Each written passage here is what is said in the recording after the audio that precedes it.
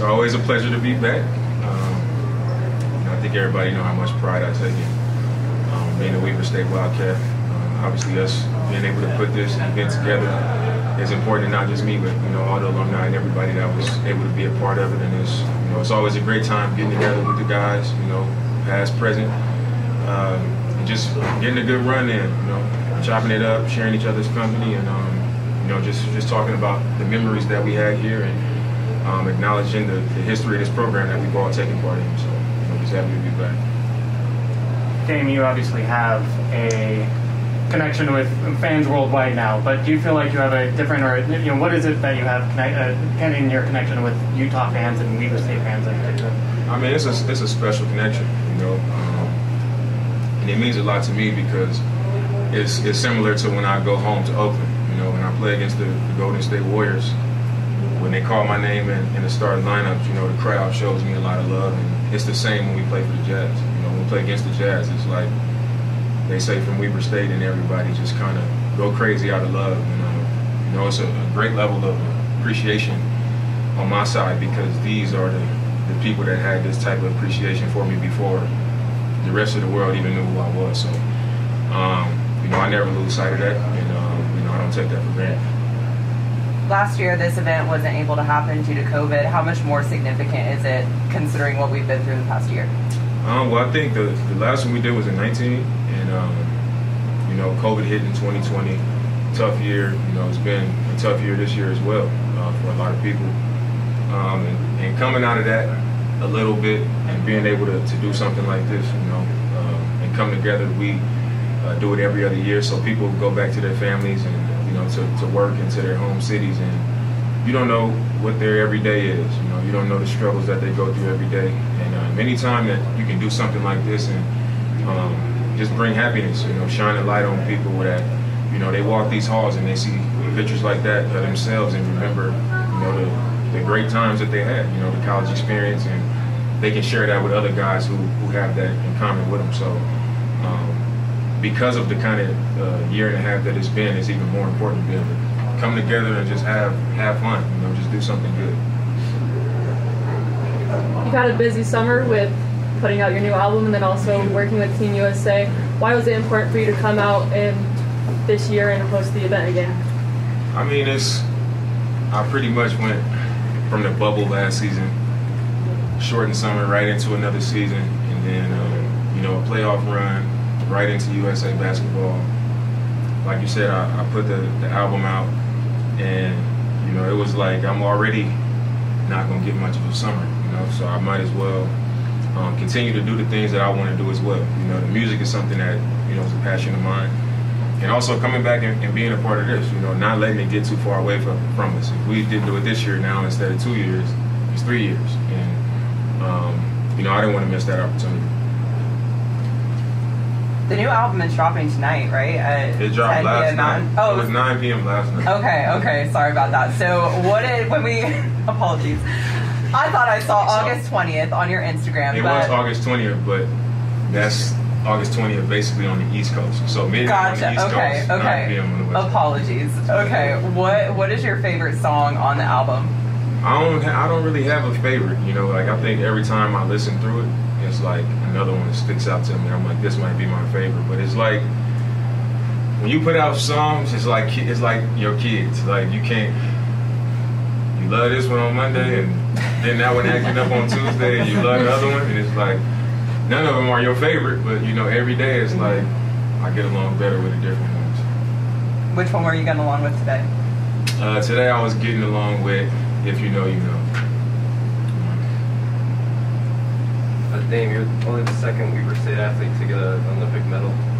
Um, what was that like for? What was that whole experience like for you personally to be able to do that?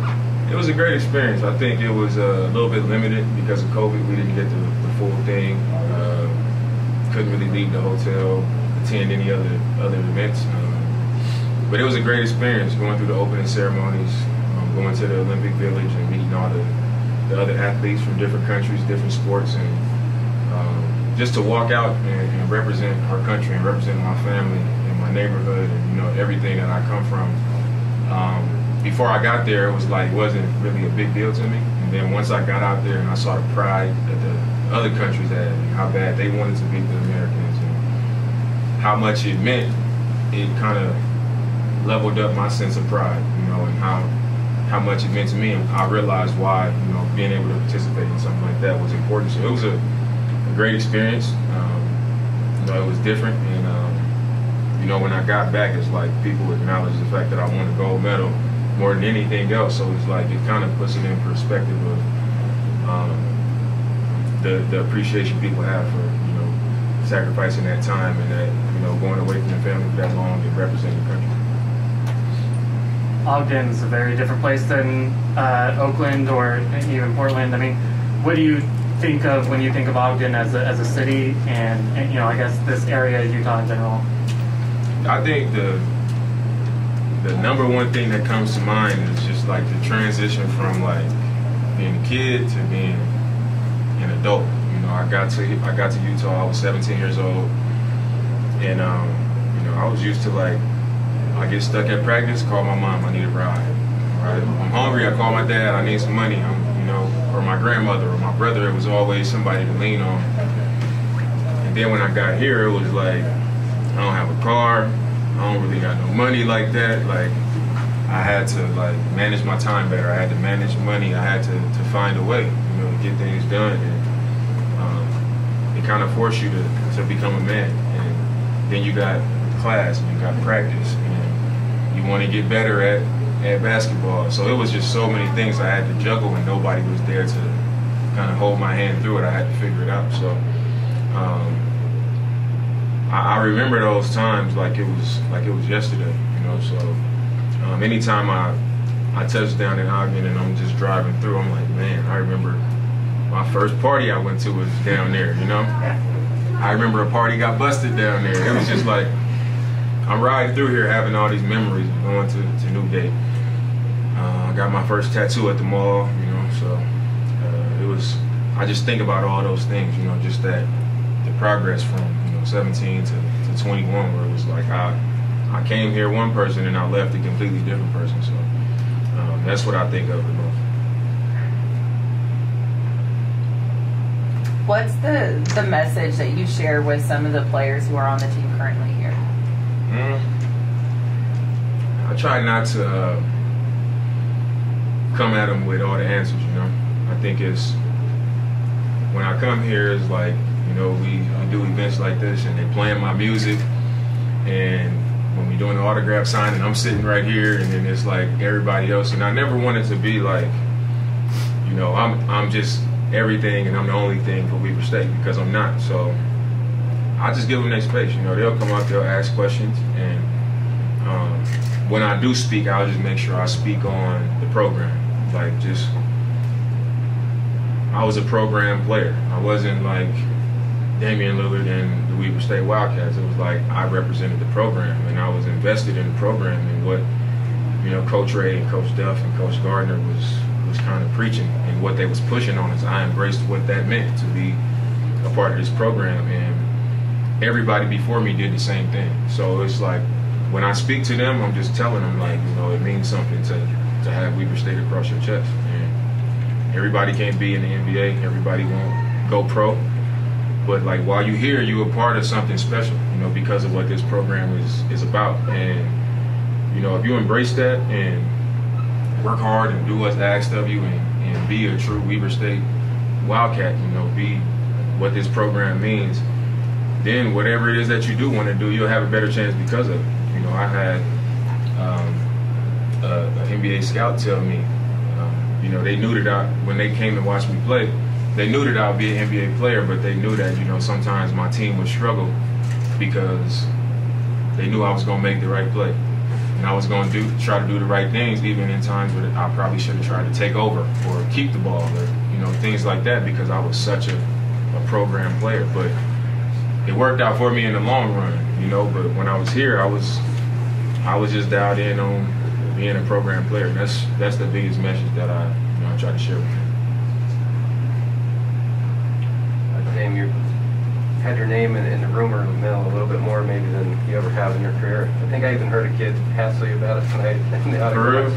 Uh, But uh, what what what's been your mentality on on maybe dealing with that as a kind of a different part of being than you've had in the past? I mean, it's it's definitely different because you know the, the rumors start in the social media era, so you can say something and it can be received a thousand different ways, and then you know people just put a quote out, and you know they might just be uh, what do they call it, being a troll. They might just be trolling, but people believe it. You know, people believe this stuff, man. You get to a position where it's like, do I defend myself or do I just say nothing? And for me, when I'm hearing stuff that's just not the facts, I'm gonna say, you know, I didn't say that. But some things I just gotta let it be said. You know, I just gotta sit back. I know what the truth is. I know where I stand, and you know, it's not my duty to make uh, the public know. Like, it's not my my job to make them aware of what that is. You know? So, um, it definitely it's definitely been different, and um, I feel like I've handled it like I like I handle everything. You know, I I just let it happen. I let people talk. Um, and I just stay true to who I am, and I stand on that. You know, if I say something, I stand on what I said, and you know that's that. So, I mean, it's it is what it is at this point. The 2021 Hall of Fame Weber State class was announced this week, and you are obviously on it. Um, what does it mean to you to have your name etched in as a Weber State all-time great? It's it's an honor. You know, I think you know when I was here, I was always just looking into the history of the, the program. You know, like looking back at Bruce Collins and David Patton and Harold the Show Arceneaux, just like all the the different eras of players that, that came through here and had a, a huge impact. Um, so to you know to be in the Hall of Fame, you know, after coming behind guys like that, you know, it's an honor. Um, and it's you know it's not something that everybody gets. You know? so, uh, I'm thankful that I'm viewed in that light by this university, and that uh, you know everything that I've done here and, and going forward is, is appreciated on that level. Um, what did you think of this game going down to the last second? Like it did. I thought it was fun, man. Like when I came out, I was like, man, I don't want to, I don't want to get too into this game. You know, I'm not taped up. I don't want to get going. You know, I had a, I was dealing with like an injury during the season, and you know, in the Olympics as well. So um, I've been off for like two and a half weeks. So coming out here, I didn't want to try to do too much. I just wanted to chill, have a good time.